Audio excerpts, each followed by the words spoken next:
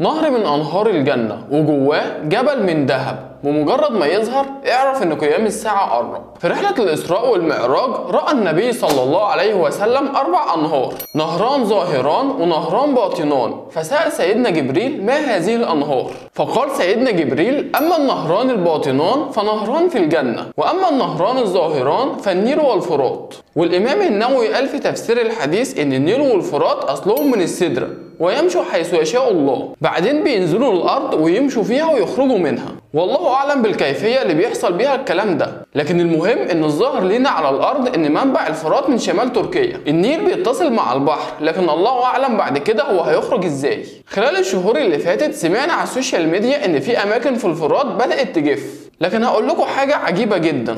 في المشهد ده هتلاقوا إن في مسجد أو مجموعة من القرى موجودة هنا مغمورة كليا تحت المية. يعني زي ما أنتم شايفين دلوقتي في مأذنة هي الوحيدة اللي ظاهرة فوق المية لأن المسجد بالكامل بقى موجود تحت مستوى سطح المية ومجموعة قرى موجودة هنا وده اسمه الجامع المغمور. وأما عن ربط الناس بجفاف الفرات وعلامات الساعة فده بسبب حديث النبي صلى الله عليه وسلم حين قال لا تقوم الساعة حتى يحصر الفرات عن جبل من ذهب يقتتل الناس عليه فيقتل من كل 199 فيقول كل رجل منهم لعلي أكون أنا أنجو. يعني قيام الساعة مرتبط بانخفاض منسوب المياه في الفرات. ومش بس كده ظهور جبل من ذهب وبعد كده هيقتتل الناس عليه. فهيموت من كل 100 شخص 99 واحد علشان الذهب. لكن النبي صلى الله عليه وسلم حذرنا من ده وقال يوشك الفرات أن يحصر على كنز من ذهب فمن حضره فلا يأخذ منه شيئا. يعني مهما أغراق الذهب ما تقربش منه أبدا. أما المدينة اللي فيها القرى تحت المية اسمها خلفتي.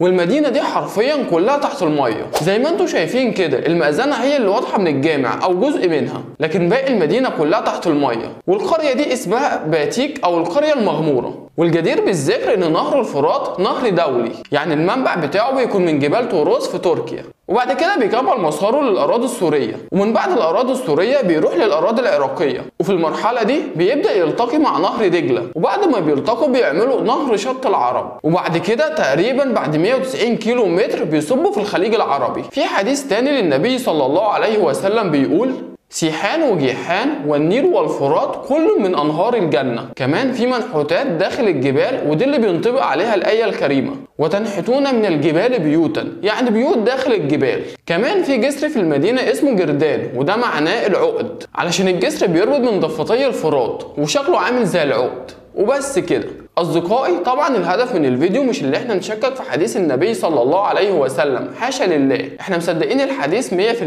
لكن الواقع دلوقتي إن نهر الفرات لسه ما جفش. يعني مستحيل تكون العلامات حصلت في الوقت الحالي. لكن هل ممكن تحصل خلال سنين قريبة؟ وهل ممكن تحصل خلال سنين بعيدة؟ الله أعلم. كمان مش كل حاجة نشوفها على السوشيال ميديا بتبقى حقيقة لأن في كتير من الصور دي بتبقى متفبركة أو غير حقيقية.